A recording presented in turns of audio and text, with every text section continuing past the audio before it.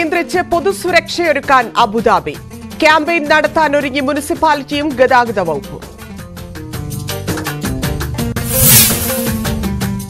ജനങ്ങളുടെ ഡിജിറ്റൽ ജീവിത നിലവാരം മെച്ചപ്പെടുത്താൻ യു എ ഇ പേപ്പർ ഇടപാടുകൾ ഇല്ലാതാക്കാൻ പാസ് ഡിജിറ്റൽ ഐഡന്റിറ്റി സംവിധാനം. ബഹ്റൈനിലുള്ള ഇന്ത്യക്കാരുടെ കണക്കെടുത്ത് വിദേശകാര്യ മന്ത്രാലയം. രണ്ട് ലക്ഷത്തിലധികം മലയാളികളെന്ന് എംബസിയുടെ കണക്ക്. യു എയിൽ സാമ്പത്തിക കുറ്റകൃത്യങ്ങൾ തടയാൻ പ്രത്യേക പ്രോസിക്യൂഷൻ. യു എയുടെ സാമ്പത്തിക സ്ഥിരതയും വളർച്ചയും ലക്ഷ്യം ശക്തിപ്പെടുത്തുക ലക്ഷ്യം. ഇറാൻ തടവിലാക്കിയ എട്ട് ഇന്ത്യൻ മത്സ്യത്തൊഴിലാളികളെ വിട്ടയച്ചു. മോചന വിവരം അംബാസിഡർ വിദേശകാര്യ സഹമന്ത്രിയെ നേരിട്ട് അറിയിച്ചു. ഉഭയകക്ഷി ബന്ധം ശക്തിപ്പെടുമെന്നും അംബാസിഡർ ഇറാജ് ഇലാഹി.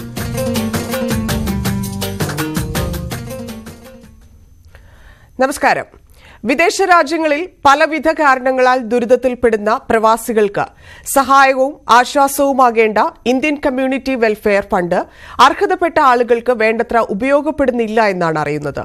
പ്രവാസികളിൽ നിന്ന് തന്നെ വിവിധ മാർഗങ്ങളിലൂടെ ശേഖരിക്കുന്ന തുക കെട്ടിക്കിടന്നിട്ടും പ്രവാസികൾക്ക് മറ്റുള്ളവരുടെ മുമ്പിൽ കൈനീട്ടേണ്ട അവസ്ഥയാണ്. അർഹതപ്പെട്ട പ്രവാസികൾക്ക് കമ്മ്യൂണിറ്റി വെൽഫെയർ ഫണ്ട് ആവശ്യങ്ങൾക്കായി ലഭ്യമാക്കേണ്ടേ? ഇക്കാര്യത്തിൽ ബന്ധപ്പെട്ട ആളുകളുടെ ഇടപെടൽ ഉണ്ടാകേണ്ടേ? ഇന്ന് പ്രവാസി ശബ്ദം ചർച്ച ചെയ്യുന്നത് ഈ വിഷയമാണ്. ചർച്ചയിൽ പങ്കെടുക്കുന്നത് സാമൂഹ്യ പ്രവർത്തകരായ അഷ്റഫ് താമരശ്ശേരി ഷെരീഫ് പി വി കരേക്കാട് അബ്ബാസ് കോഴിക്കോട് എന്നിവരാണ്. മൂന്നുപേർക്കും സ്വാഗതം.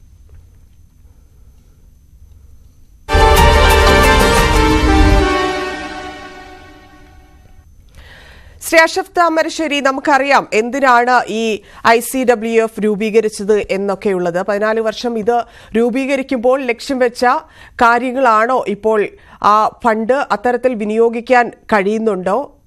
എന്ത് ഉദ്ദേശത്തിലാണ്? നേരത്തെ ഉണ്ടായിരുന്ന അതേ ഉദ്ദേശത്തിൽ തന്നെ പ്രവർത്തിക്കുന്നുണ്ടോ ഇത്? പക്ഷേ ഈ വിദേശകാര ഈ ഫണ്ട് എല്ലാ സ്ഥലത്തുള്ള കൗൺസിലും ഉണ്ട് എംബസിയിലും ഉണ്ട് ഫണ്ട്. പക്ഷെ വാണ്ടി അത്ര ഉപയോഗപ്പെടുത്താൻ കഴിയുന്നില്ല. കാരണം ഈ പാസ്പോർട്ട് പുതുക്കാൻ തന്നെ മുന്നൂറ്ററുപത് ദിറംസ് ഇപ്പൊ വേണം. നാട്ടിൽ അഞ്ച് പാസ്പോർട്ട് പുതുക്കാം. ഇതിനുള്ള പൈസ കുറയ്ക്കാൻ തന്നെ ഇതിനെ കൂടി. ഈ ഫണ്ടൊക്കെ ആണ് ഇതിന് ഇവിടെ കെട്ടി നിൽക്കുന്നത്. വേണ്ടത്ര പ്രയോഗിക്കാൻ കഴിയുന്നില്ല. അത് ഇതിന്റെ മുമ്പുള്ള ഗവൺമെന്റ് വന്നപ്പോൾ കഴിഞ്ഞില്ല. ശരി. ശ്രീ അബ്ബാസ് കോഴിക്കോട് ഈ ഫണ്ടിൽ എന്ത് അഴിമതി നടക്കുന്നു എന്നാണ്? ഫണ്ട് ചെലവാക്കാൻ കേന്ദ്രത്തിന് എന്താണ് ഇത്ര മടി? ഫണ്ട് ചെലവാക്കാനും ഈ എംബസിക്ക് വേണ്ടി കോൺസുലേറ്റിന് വേണ്ടി കേന്ദ്ര സർക്കാർ ഫണ്ട് വീതം നൽകുന്നുണ്ട്. പക്ഷെ ഇത് ബന്ധപ്പെട്ട പ്രവാസികളെടുത്ത് ഈ വിഷയങ്ങൾ എത്തുന്നില്ല എന്നുള്ളതാണ് ഏറ്റവും വലിയ വിഷയമായി കിടക്കുന്നത് ഒന്ന് നോർക്കയെ സംബന്ധിച്ചിടത്തോളം നോർക്ക ഈ വിഷയങ്ങൾ കൃത്യമായ രീതിയിൽ പ്രവാസികളോട് പറയണം. പ്രവാസികൾ അറിഞ്ഞ ആളുകൾ തന്നെ ഈ വിഷയ കാര്യങ്ങളൊന്നും കൃത്യമായ രീതിയിൽ പ്രവാസികളോട് പറയുന്നില്ല എന്നുള്ളൊരു വിഷയം ഇവിടെ നിലനിൽക്കുന്നുണ്ട്. പ്രത്യേകിച്ച് ഈ വിഷയങ്ങൾ നടക്കുന്ന മുഴുവൻ യു എയിലാണ് യു എയിലെ സംബന്ധിച്ചിടത്തോളം ഒരു പ്രവാസി മരണപ്പെട്ട് കഴിഞ്ഞാൽ ഒരു ലക്ഷത്തി ഇരുപത്തി അയ്യായിരം രൂപ ഐ സി ഡബ്ല്യു എഫ് മുഖാന്തരം നൽകുന്നുണ്ട്. എന്നാൽ ഈ നൽകുന്ന വിവരം പ്രവാസികൾ അറിയാത്തത് അവിടുത്തെ സന്നദ്ധ പ്രവാസി സംഘടനകളും സാമൂഹ്യ പ്രവർത്തകരും ബന്ധപ്പെട്ട അധികാരികളും പ്രവാസികളോട് ഈ കാര്യങ്ങൾ പറയുന്നില്ല എന്നുള്ളതാണ് ഏറ്റവും വലിയ വിഷയം. അപ്പോ ഈ പണം അവിടുന്ന് അവിടുന്ന് ലഭ്യമാകുന്നുണ്ട്. ലഭ്യമാകുന്ന പണം യഥാർത്ഥത്തിൽ പ്രവാസികളുടെ അവകാശപ്പെട്ടവർക്ക് എത്തുന്നുണ്ടോ എന്ന കാര്യമാണ് ഇപ്പൊ സംശയത്തിൽ വന്നിരിക്കുന്നത്. വ്യത്യസ്തമായിരിക്കുന്ന പ്രവാസികളൊക്കെ ഇതുമായിട്ട് ബന്ധപ്പെട്ട് ഈ നാട്ടിലേക്ക് മൃതദേഹം എത്തിക്കാൻ വേണ്ടി സാമ്പത്തിക വിഷയം സാമ്പത്തികപരമായി ഇല്ലാത്തത് കൊണ്ട് മൃതദേഹം വേണ്ട എന്ന് പറയുന്ന ഒരു സാഹചര്യം നമ്മുടെ കേരളത്തിൽ നിലനിൽക്കുന്നുണ്ട്. പലപ്പോഴും അത് പത്രങ്ങൾ റിപ്പോർട്ട് ചെയ്തതാണ്. അപ്പൊ അങ്ങനെ ആക്കുന്ന സമയത്ത് അങ്ങനെ നിലനിൽക്കുന്ന സമയത്ത് ഒരു ലക്ഷത്തി ഇരുപത്തി അയ്യായിരം രൂപയോളം പണം ഐ സി ഡബ്ല്യു എഫ് പ്രവാസികളുടെ മൃതദേഹം നാട്ടിലേക്ക് എത്തിക്കാൻ വേണ്ടി നൽകുന്നുണ്ട് എന്ന് പറയുമ്പോൾ ആ വിവരങ്ങൾ ബന്ധപ്പെട്ട അധികാരികൾ അല്ലെങ്കിൽ ബന്ധപ്പെട്ട സന്നദ്ധ പ്രവർത്തകർ അല്ലെങ്കിൽ പ്രവാസി സംഘടനകൾ പ്രവാസികളോട് അത് പറയുന്നില്ല. എന്നാലോ ഐ സി ഡബ്ല്യു എഫ് ഈ പണം നൽകിക്കൊണ്ടേ ഇരിക്കുകയും ചെയ്യുന്നുണ്ട് നമ്മുടെ ഒരു കണക്ക് പ്രകാരം നോക്കുകയാണെങ്കിൽ കഴിഞ്ഞ പ്രാവശ്യം തന്നെ ഏകദേശം രണ്ടായിരത്തി ഇരുപത്തി ഒന്ന് കാലത്ത് നൂറ്റി മുപ്പത്തി ഒൻപത് പേർ മരണപ്പെട്ടിട്ടുണ്ട്. അതിൽ തൊണ്ണൂറ്റി ഒൻപത് പേരുടെ മൃതദേഹം നാട്ടിലെത്തിച്ചതാണ്. മുപ്പത്തി ഒൻപത് പേരെ മാത്രമാണ് അവിടെ അടക്കം ചെയ്തത്. ഈ നൂറ്റി മുപ്പത്തി ഒൻപത് പേരിൽ തൊണ്ണൂറ്റി ഒൻപത് പേരിൽ തന്നെ നല്ലൊരു ശതമാനം ആളുകൾക്ക് ഈ പണം അവിടുന്ന് ഇറങ്ങിപ്പോയിട്ടുണ്ട് എന്നാണ് അറിയാൻ പറ്റിയത്. എന്നാൽ കുടുംബക്കാർക്കോ ബന്ധപ്പെട്ടവർക്കോ ഈ പണം കിട്ടുന്നില്ല. അപ്പൊ ഈ പണം അവിടെ വെച്ച് മറ്റേതോ തരത്തിൽ ബന്ധപ്പെടാത്ത ആ കൈകളിലേക്ക് ഈ പണം എത്തുന്നുണ്ടോ എന്നൊരു സംശയം ഇപ്പൊ പ്രബലമായിരിക്കുകയാണ്. പക്ഷേ ഇതിന്റെ കണക്കുകളെല്ലാം പാർലമെന്റിൽ കൃത്യമായി സഹമന്ത്രി കഴിഞ്ഞ ദിവസം കൂടി അവതരിപ്പിച്ചതാണ്. അതിൽ നിന്നാണ് നമുക്ക് ഈ ഫണ്ട് ഇവിടെ നിന്ന് പോകുന്നുണ്ട്. പക്ഷേ ഇത് ആവശ്യക്കാരിലേക്ക് എത്തുന്നില്ല എന്നൊരു നിഗമനത്തിലേക്ക് നമ്മൾ എത്തുന്നത്. ഞാൻ വരാൻ താങ്കളിലേക്ക്. ശ്രീ ഷെരീഫ് ഇവിടെ കോടിക്കണക്കിന് രൂപയാണ് വിവിധ എംബസികളിലായിട്ട് കെട്ടിക്കിടക്കുന്നത്. ഇപ്പൊ നേരത്തെ അബ്ബാസ് പറഞ്ഞതുപോലെ എങ്ങനെ ഇത് ആളുകളിലേക്ക് എത്തിക്കാം എന്നുള്ളതാണ്. ഇവിടെ ഫണ്ടിന് കുറവൊന്നുമില്ല. പക്ഷേ ആളുകളിലേക്ക് ഇത് എത്തുന്നില്ല കെട്ടിക്കിടക്കുന്ന അവസ്ഥ എന്തുകൊണ്ടുണ്ടാക്കുന്നു എങ്ങനെ പരിഹരിക്കാൻ സാധിക്കും? I C W F or Indian community welfare fund പ്രവാസികളുടെ ക്ഷേമത്തിനും അതുപോലെ തന്നെ പ്രവാസികൾക്ക് ഉണ്ടാകുന്ന പ്രശ്നങ്ങൾ ഉണ്ടാകുന്ന സമയത്ത് പ്രവാസികളെ നാട്ടിലെത്തിക്കുന്നതിനും അതുമായി ബന്ധപ്പെട്ട കാര്യങ്ങൾക്ക് വേണ്ടി പ്രവാസികളിൽ നിന്ന് നമ്മൾ പ്രവാസികളായ ആളുകൾ ഇന്ത്യൻ കോൺസുലേറ്റിലും എംബസിയിലും പാസ്പോർട്ട് പുതുക്കാനും മറ്റു ആവശ്യങ്ങൾക്ക് വേണ്ടി പോകുമ്പോൾ നമ്മളിൽ നിന്നും പിരിക്കുന്ന ഈടാക്കുന്ന ഒരു ഫണ്ടാണ് അത് വേണ്ട രീതിയിൽ പ്രവാസികൾക്ക് എത്തുന്നില്ല എന്ന് തന്നെയാണ് നമുക്ക് പറയാനുള്ളത്. എന്റെ കയ്യിലുള്ളത് കഴിഞ്ഞ ദിവസം പാർലമെന്റിൽ ലോക്സഭയിൽ ബഹുമാനപ്പെട്ട കേരള കേന്ദ്ര പ്രവാസികാര്യ മന്ത്രി പി എം മുരളീധരൻ സാറ് നൽകിയ ഒരു കണക്കാണിത്. ഏകദേശം അഞ്ഞൂറ്റി എഴുപത്തിയൊന്ന് കോടി രൂപയോളം വിവിധ നൂറ്റി മുപ്പതോളം രാജ്യങ്ങളിലുള്ള എംബസികളിൽ ഈ ഫണ്ട് കെട്ടിക്കിടക്കുന്നു എന്നതാണ് ആ കണക്കിൽ സൂചിപ്പിക്കുന്നത്. അതിൽ തന്നെ രണ്ടായിരത്തി പത്തൊമ്പതിൽ ദുബായിൽ നിന്ന് മാത്രം അറുപത്തിരണ്ട് ലക്ഷത്തി ഇരുപത്തിരണ്ടായിരത്തി നാനൂറ്റി ഇരുപത്തൊന്ന് രൂപ രണ്ടായിരത്തി ഇരുപതിൽ അറുപത്തിമൂന്ന് ലക്ഷത്തി അറുപത്തെട്ടായിരത്തി അറുന്നൂറ്റി പതിനെട്ട് രൂപ. രണ്ടായിരത്തി ഇരുപത്തിരണ്ടിൽ എൺപത് ലക്ഷത്തി മുപ്പത്തി ഏഴായിരത്തി എഴുന്നൂറ്റി എൺപത്തി ഒമ്പത് രൂപ. രണ്ടായിരത്തി ഇരുപത്തിരണ്ടിൽ ഒരു കോടി നാൽപ്പത്തിരണ്ടായിരത്തി മുപ്പത്തെട്ടായിരം ഒരു കോടി നാൽപ്പത്തിരണ്ട് ലക്ഷത്തി മുപ്പത്തി എട്ടായിരത്തി ഒരുന്നൂറ്റി അറുപത്തി മൂന്ന് രൂപ. രണ്ടായിരത്തി ഇരുപത്തി മൂന്ന് കഴിഞ്ഞ മാസം വരെയുള്ളത് നാൽപ്പത്തി ഏഴ് ലക്ഷത്തി തൊണ്ണൂറ്റി നാലായിരത്തി മുന്നൂറ്റി എൺപത്തിരണ്ട് രൂപ ഇത്രയും സംഖ്യ ദുബായിൽ മാത്രം ദുബായ് എംബസി മുഖേന മാത്രം നൽകി എന്നാണ് കണക്ക് പറയുന്നത്. പിന്നെ അബുദാബിയും മറ്റു കണക്കുകളുണ്ട് മറ്റു രാജ്യങ്ങൾക്ക് മറ്റു കണക്കുകളുണ്ട്. അതിന്റെ പുറത്ത് മുപ്പത്തിയെട്ട് കോടി തൊണ്ണൂറ്റി രണ്ട് ലക്ഷം രൂപയോളം ഈ യു എ എംബസിയിൽ തന്നെ കെട്ടിക്കിടക്കുന്നു. ഈ ഫണ്ട് എന്തിനു വേണ്ടി ഉപയോഗിക്കുന്നു എന്നല്ല നമുക്കറിയാം കഴിഞ്ഞ കോവിഡ് സമയത്ത് ഏറെ പ്രയാസപ്പെട്ട ഒരു സമയം പ്രവാസികൾ ഏറെ പ്രയാസപ്പെട്ട സമയം ഒരു. മൃതദേഹം കൊണ്ടുവരാൻ പോലും പൈസ ഇല്ല എന്നുള്ള അവസ്ഥയായിരുന്നു അവസ്ഥയായിരുന്നല്ലോ ഇതിനു വേണ്ടിയാണ് ഇത് ഇങ്ങനെ കെട്ടിക്കിടക്കുന്നത് ഇത് ഉപയോഗിക്കുന്ന പ്രവാസികൾക്ക് ഉപകരിക്കാത്ത രീതിയിൽ കെട്ടിക്കിടക്കുന്നത് ആർക്കാണ് ഇതിന്റെ ഗുണം എന്നാണ് നമുക്ക് മനസ്സിലാക്കാനുള്ളത്.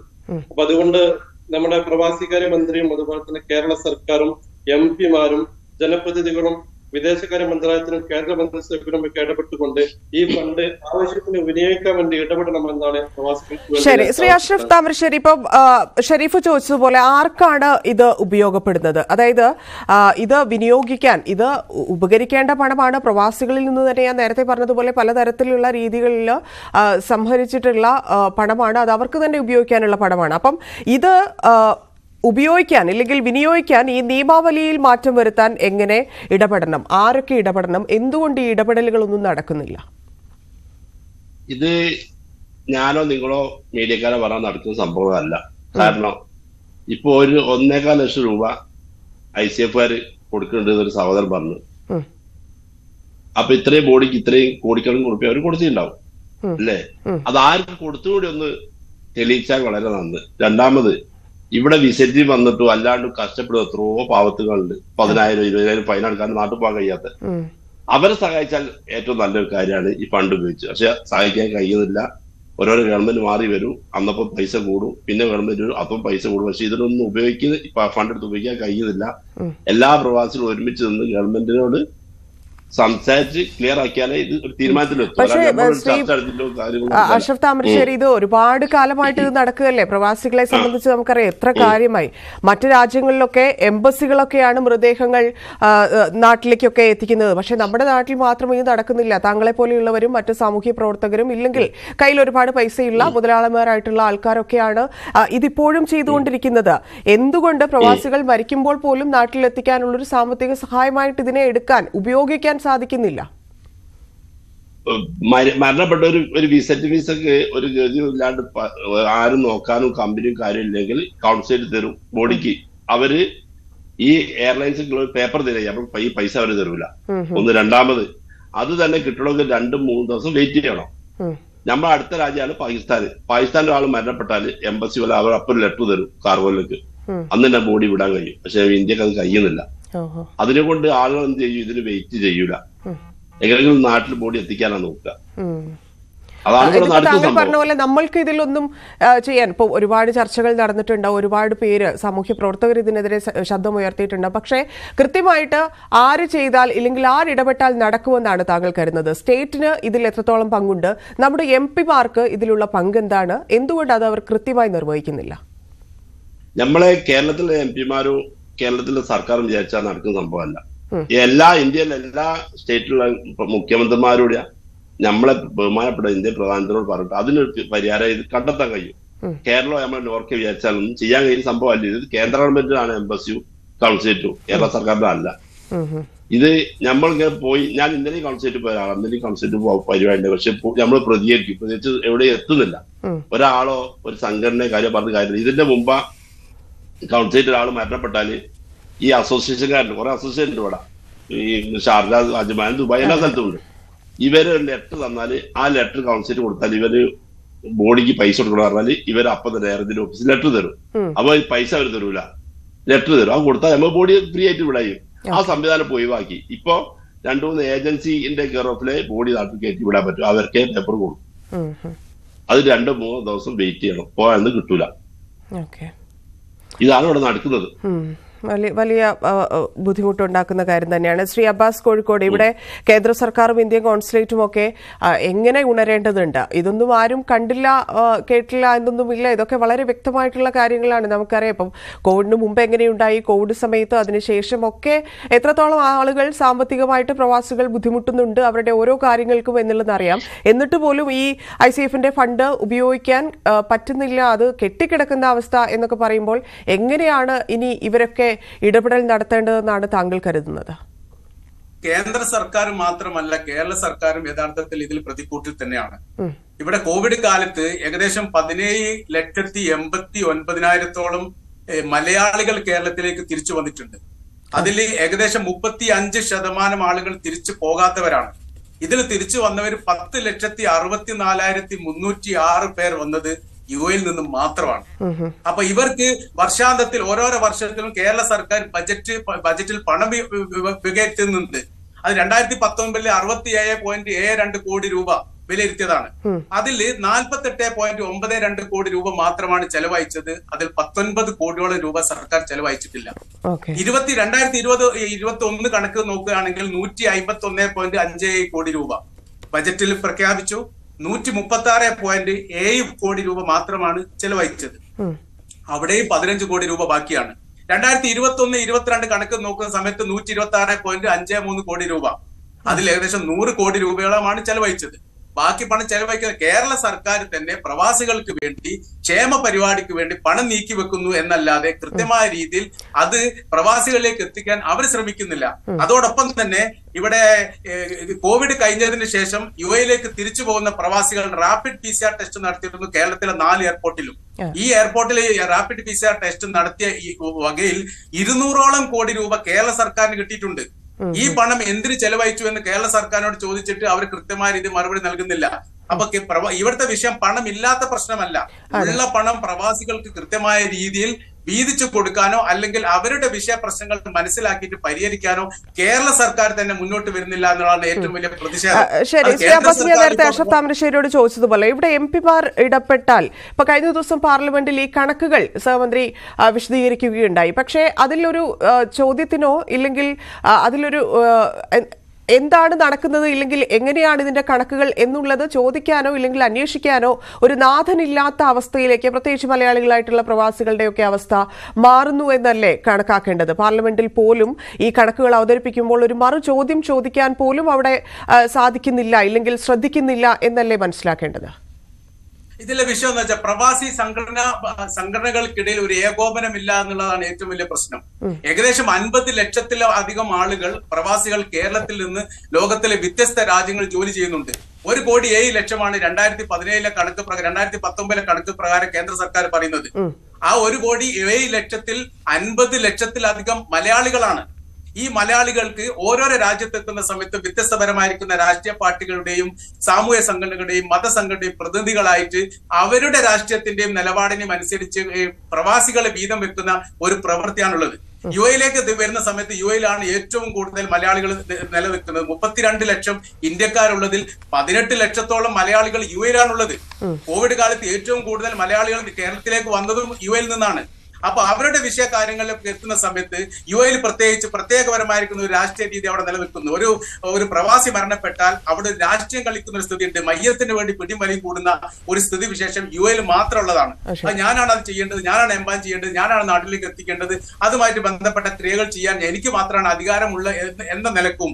മാത്രമല്ല നാട്ടിലേക്ക് വരുന്ന മൃതദേഹത്തിന്റെ മേലെ പോലും സ്വന്തം പേര് എഴുതി ഒട്ടിക്കുന്ന ഒരു സ്ഥിതി പോലും യു എയിൽ മാത്രമാണുള്ളത്. നമ്മൾ എവിടെയും അത് കണ്ടിട്ടില്ല. ഞാൻ സൗദിയിൽ ജോലി ചെയ്തിട്ടുണ്ട് ഒമാനിൽ ചെയ്തിട്ടുണ്ട് ഖത്തറിൽ ചെയ്തിട്ടുണ്ട് സേവന പ്രവർത്തനത്തിലൊക്കെ മുമ്പിൽ നിന്ന വ്യക്തിയാണ്. അവിടെ ഒന്നും കാണാത്ത ഒരു പ്രത്യേകപരമായ ഒരു രീതിയാണ് യു എയിൽ കാണുന്നത് പ്രത്യേകിച്ച് ദുബായിൽ കാണുന്നത്. കൊണ്ടുവരുന്ന മയ്യത്തിന്റെ മേലെ ആ ബോക്സിന്റെ മേലെ പേര് എഴുതി വെച്ച് കാറ്റ് ഒട്ടിച്ചു വെക്കുന്ന ഒരു. അസോസിയേഷന്റെ പേരല്ലേ? ഈ സംഘടനയുടെ പേരല്ലേ? എങ്ങനെ? ഈ സംഘടനയുടെ പേരാണ്. വ്യക്തിയുടെ പേര് വെക്കുന്നു. വ്യക്തിയുടെ പേരും സംഘടനയുടെ പേരും മൃതദേഹത്തിന്റെ മേലെ ഒട്ടിക്കേണ്ട കാര്യമില്ല. മൃതദേഹത്തിന്റെ അഡ്രസ് അല്ലേ വെക്കേണ്ടത്?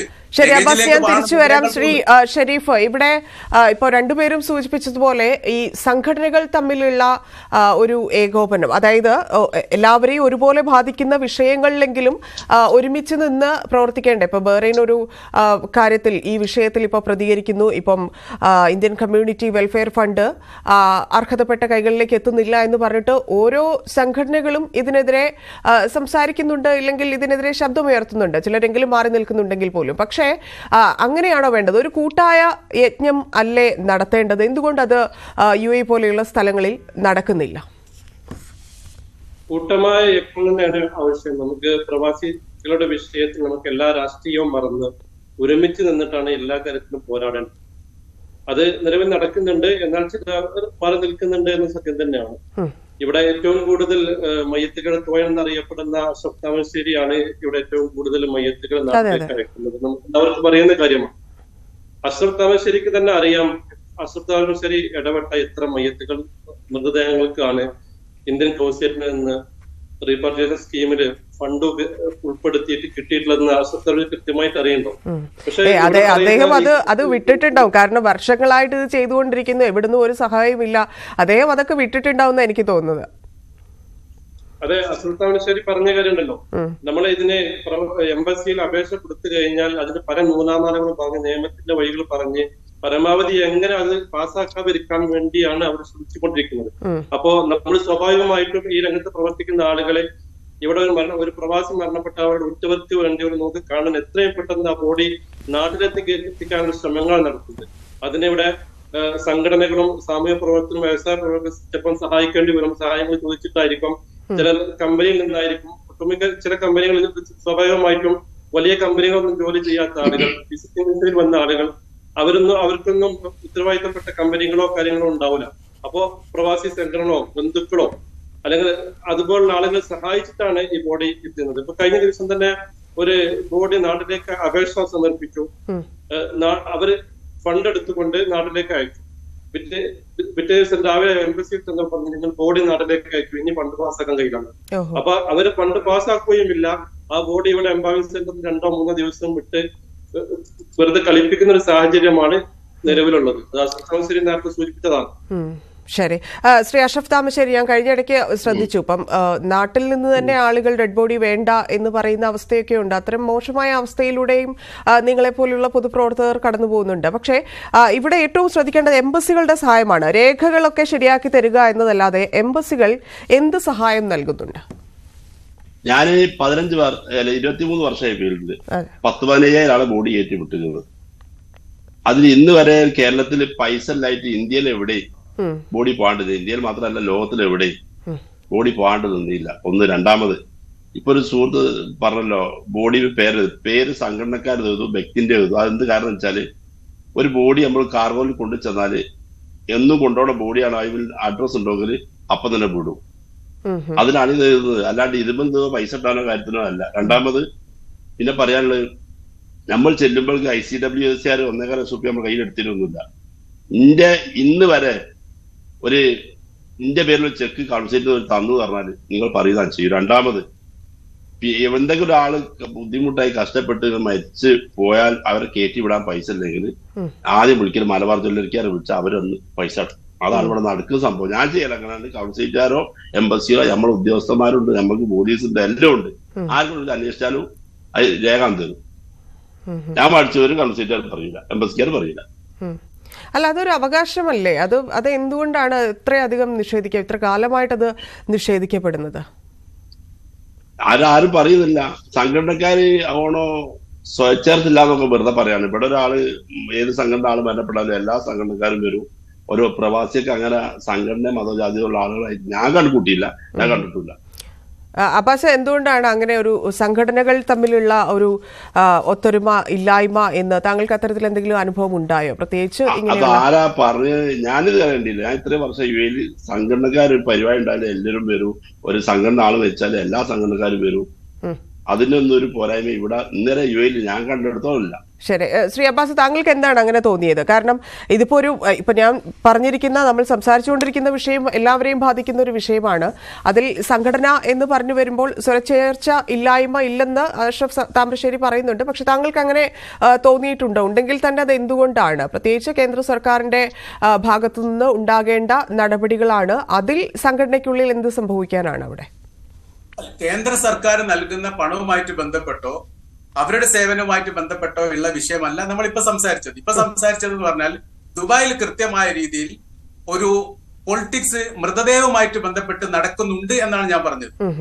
ആ കാര്യം ഇപ്പൊ നിലനിൽക്കുന്നതാണ്. വ്യത്യസ്തമായിരിക്കുന്ന സംഘടനകളൊക്കെ ഒരാൾ മരണപ്പെട്ട് കഴിഞ്ഞാൽ അവിടെ നിൽക്കുന്ന രീതികൾ എന്ന് പറഞ്ഞാൽ വേഗം ആ പാസ്പോർട്ട് വാങ്ങി കയ്യിലാക്കാനുള്ള കാര്യ- കാര്യങ്ങളാണ് നോക്കുന്നത്. എന്നിട്ട് ഈ പിറകിൽ എന്തോ ലാഭങ്ങൾ ഉണ്ടാവാം ഒരു പക്ഷേ അത് നമ്മൾ അന്വേഷിച്ചിട്ട് കണ്ടുപിടിക്കേണ്ടതാണ്. ഐ സി ഡബ്ല്യു എഫ് പ്രകാരം ഈ ഒരുപാട് കോടിക്കണക്കിന് രൂപ ഇപ്പൊ മറ്റേ സുഹൃത്ത് പറഞ്ഞ പോലെ കോടിക്കണക്കിന് രൂപ വർഷാന്തത്തെ കണക്ക് കൂട്ടുന്ന പ്രകാരം ഐ സി ഡബ്ല്യു എഫ് പ്രകാരം പ്രവാസി പ്രവാസികളുടെ ക്ഷേമത്തിന് വേണ്ടിയിട്ടോ മൃതദേഹ നാട്ടിൽ എത്തിക്കാൻ വേണ്ടോ വേണ്ടിയിട്ടോ അവിടുന്ന് ഇറങ്ങിയിട്ടുണ്ട് പണം. പക്ഷെ ഇത് ഈ പറയപ്പെട്ട പണം പ്രവാസികളിലേക്ക് എത്തിയിട്ടുണ്ടോ എന്നുള്ള കാര്യമാണ് ഇവിടെ സംശയത്തിലെ നിയലിൽ നിൽക്കുന്നത്. ഇതേക്കുറിച്ച് കൃത്യമായി അന്വേഷിക്കാൻ വേണ്ടിയിട്ട് കോൺസുലേറ്റുമായിട്ട് ഞങ്ങൾ ബന്ധപ്പെട്ടിട്ടുണ്ട്. അതിന് രേഖ വരുന്ന വരുന്ന മുറയ്ക്ക് ആ ആ ഭാഗം ആർക്ക് പണം കൊടുത്തു ആര് പണം വാങ്ങി ആർക്ക് കിട്ടി എന്ന് കൃത്യമായ രീതിയിലുള്ള കണക്ക് പ്രകാരം തീർച്ചയായിട്ടും ഈ വിവരങ്ങൾ നമ്മൾ വീണ്ടും പറയുന്നതാണ്. ഇവിടെ മറ്റുള്ള രാജ്യങ്ങളിൽ എന്ന് വെച്ചാൽ സൗദി അറേബ്യ ഖത്തർ ഒമാൻ ഇവിടെ ഈ മൂന്ന് രാജ്യത്തും ജോലി ചെയ്ത വ്യക്തിയാണ് ഞാൻ ഇവിടൊക്കെ ഈ സേവന പ്രവർത്തന രംഗത്ത് മുമ്പായി മുമ്പിൽ നിന്ന വ്യക്തിയാണ്. ഒരാൾ മരണപ്പെട്ട് കഴിഞ്ഞാൽ ആ മയ്യത്തിന് വേണ്ടി അല്ല ആ മൃതദേഹത്തിന് വേണ്ടി പിടിയും വലിയും കൂടുന്ന ഒരു വിഷയം സൗദി അറേബ്യയിലില്ല അത് ഇപ്പോഴും ഇല്ല. ഖത്തറിലില്ല ഒമാനിലില്ല. കുവൈറ്റിലും മറ്റുള്ള ബഹ്റൈൻ രാജ്യങ്ങളിലൊന്നും ഉള്ളതായിട്ട് ഒരു റിപ്പോർട്ട് വന്നിട്ടുമില്ല. അപ്പോ ഈ ദുബായിൽ മാത്രം ഇതിനു വേണ്ടിയിട്ട് പിടിമലി കൂടുന്ന ഒരു വിഷയങ്ങൾ നിലനിൽക്കുന്നുണ്ട്. അപ്പൊ നിങ്ങൾക്ക് വ്യത്യസ്തമായിരിക്കുന്ന പ്രവാസി സംഘടനകളോടും വ്യക്തികളോടും ഈ കാര്യങ്ങൾ അന്വേഷിക്കാവുന്നതാണ്. ഇതൊക്കെ അന്വേഷിക്കാവുന്ന വർത്തമാന കാലത്ത് അന്വേഷിക്കാൻ എന്തെങ്കിലുമൊക്കെ സംവിധാനങ്ങളുടെ അന്വേഷിക്കാവുന്നതാണ്. എന്തുകൊണ്ടാണ് യു എ ദുബായിൽ മാത്രം ഒരാൾ മരണപ്പെട്ട് കഴിഞ്ഞാൽ ആ മൃതദേഹത്തിന്റെ പിറകിലെ പോയിട്ട് പാസ്പോർട്ട് വാങ്ങുക രേഖ വാങ്ങുക രാത്രിയെന്നോ പകലെന്നോ വ്യത്യാസമില്ലാതെ അവർ റിലേഷനെ കാണുക എന്നിട്ട് ആ രേഖകൾ ശരിയാക്കുക എന്നിട്ട് ബോഡി നാട്ടിലേക്ക് എത്തിക്കുന്ന സമയത്ത് ആ ബോഡിന് മേൽ പേര് എഴുതി ഒട്ടിക്കുക. എന്താണ് ഇതുകൊണ്ട് ഗുണം എന്നുള്ളത് തീർച്ചയായിട്ടും നമ്മൾ അത് അറിയേണ്ടതാണ്. ഒരു മൃതദേഹത്തെ അപമാനിക്കുന്നതിന് തുല്യമാണ്. എന്റെ റിലേഷൻ ഇപ്പൊ തൊട്ടടുത്ത് മരിച്ചതാണ്. ആ മരിച്ചതുമായിട്ട് ബന്ധപ്പെട്ട എല്ലാ വിവര കാര്യങ്ങളും ഞാനാണ് ഡയറക്റ്റ് ആയിട്ട് ചെയ്തത്. ആ ചെയ്തു വെക്കുന്ന സമയത്ത് നാട്ടിലുള്ള വ്യക്തിയുടെ പേരാണ് കൊണ്ടുവന്ന ബോഡിയുടെ മയ്യത്തിന്റെ മേലെ എഴുതി ഒട്ടിച്ചത്. ആ വ്യക്തി ഒപ്പം നാട്ടിലാണ് നിൽക്കുന്നത്. മനസ്സിലായി. നമ്മൾ ചെറുതായിട്ട് നമ്മുടെ വിഷയത്തിൽ നിന്ന് ചെറുതായിട്ടൊന്ന് വ്യതിചലിച്ചു. ഇപ്പം സംസാരിച്ചുകൊണ്ടിരിക്കുന്ന വിഷയം വളരെ പ്രധാനപ്പെട്ട വിഷയമാണ്. നമുക്ക് മറ്റൊരു ദിവസം അത് എടുക്കാമെന്ന് കരുതുന്നു. എന്തായാലും ഈ വിഷയത്തിൽ ചർച്ചയ്ക്ക് ഇരുന്നതിന് ഒരുപാട് നന്ദി. ശ്രീ ഷെരീഫ് ഒപ്പം തന്നെ ശ്രീ അഷ്റഫ് താമരശ്ശേരി ഒപ്പം അബ്ബാസ്. ആ പറഞ്ഞോളൂ ഷെരീഫ് പറഞ്ഞോളൂ. ഇവിടെ അബ്ബാസ് പറഞ്ഞ ഒരു കാര്യം ചോദിച്ചത് പല കോണിൽ നിന്നായിട്ട് സാമൂഹ്യ പ്രവർത്തകർക്കെതിരെ ഇത്തരത്തിലുള്ള ആരോപണങ്ങൾ ഉയരുന്നുണ്ട്. അത് നിസ്വാർത്ഥമായി സേവനം ചെയ്യുന്ന പലരെയും അത് അല്ല വേദനിപ്പിക്കുന്നതാണ് എനിക്ക് മനസ്സിലായി. നമുക്കത് വിശദമായി മറ്റൊരു ദിവസം സംസാരിച്ചാലോ? ഷെരീഫ് എന്റെ സമയം തീർന്നതുകൊണ്ടാണ് ഞാൻ ഇടപെടുന്നത്. ഏതായാലും ഇത് ഈ ആവശ്യഘട്ടങ്ങളിൽ ധനസഹായം ലഭിക്കാത്തവർക്ക് കമ്മ്യൂണിറ്റി വെൽഫെയർ ഫണ്ട് ലഭ്യമാക്കാത്തത് നീതിക്ക് നിരക്കാത്ത പ്രവൃത്തിയാണ്. അർഹതപ്പെട്ട ഏതൊരു ഇന്ത്യൻ പ്രവാസിക്കും അത് ലഭിക്കട്ടെ കമ്മ്യൂണിറ്റി വെൽഫെയർ ഫണ്ട്. അതത് അവസരങ്ങളിൽ തന്നെ ലഭ്യമാക്കട്ടെ അതിന് അധികാരികളുടെ അടിയന്തര ഇടപെടൽ ഉണ്ടാകട്ടെ എന്ന് നമുക്ക് വിശ്വസിക്കാം. അത്തരത്തിലൊരു ഇടപെടൽ ഉണ്ടാകുമെന്ന് വളരെ നന്ദി മൂന്ന് അതിഥികൾക്കും. Thank you. ഇതുമായി ബന്ധപ്പെട്ട് ന്യൂസ് എയ്റ്റിന്റെ പോൾ ഉണ്ടായിരുന്നു. കമ്മ്യൂണിറ്റി വെൽഫെയർ ഫണ്ട് ലഭ്യമാക്കാത്തത് കേന്ദ്ര പരാജയമോ എന്നുള്ളത്. കേന്ദ്ര പരാജയമാണ് എന്ന് പറയുന്നത് അറുപത്തിമൂന്ന് ശതമാനം ആളുകളാണ്. കേന്ദ്ര പരാജയം കൊണ്ടല്ല എന്ന് പറയുന്നത് മുപ്പത്തിയേഴ് ശതമാനം ആളുകളാണ്. രണ്ട് പോയിന്റ് ഏഴ് കെ വോട്ടുകളാണ് ഈ പോളിന് ലഭിച്ചത്. പ്രവാസി ശബ്ദം പൂർണമാവുന്നു. നമസ്കാരം.